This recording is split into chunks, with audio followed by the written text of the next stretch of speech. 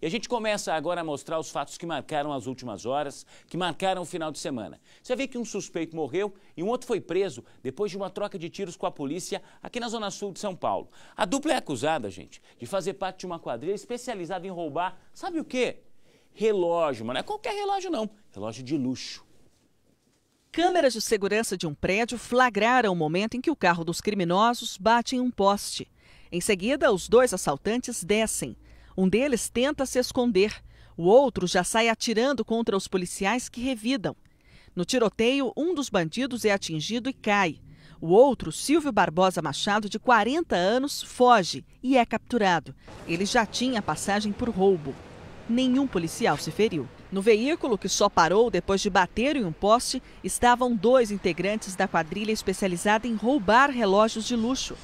Um deles é este homem que aparece nas imagens entrando na farmácia de boné e óculos.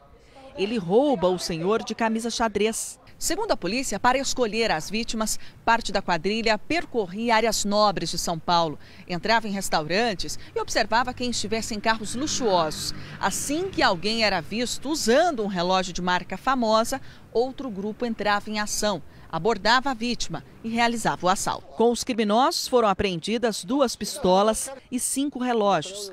Alguns chegam a custar mais de 20 mil reais. Outras cinco pessoas suspeitas de fazerem parte da quadrilha são procuradas.